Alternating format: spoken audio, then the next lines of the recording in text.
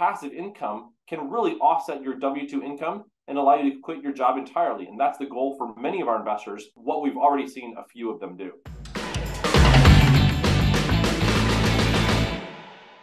Hey everyone, today we'll be talking about the fundamental aspect of passive income. Drew, how can investors get their money to work for them? Yeah, David, the major goal of being a limited partner in real estate syndications is passive income. That is making your money work for you so you're not working so hard with your money. Through investments in like real estate, you are essentially passing off the work, active part of investing to the syndicators and in exchange you're getting monthly or quarterly distributions. So, which side is better for investors? The active side or the passive side? Yeah, it really just depends upon what you're looking for. So the passive side allows you to not have to do any work. Instead, use your time, your day job, or with the hobbies or with your family, the things that you're more passionate about. Once you've built up a big enough investment in investments, that passive income can really offset your W 2 income and allow you to quit your job entirely. And that's the goal for many of our investors, what we've already seen a few of them do. All right. Thanks so much, Drew.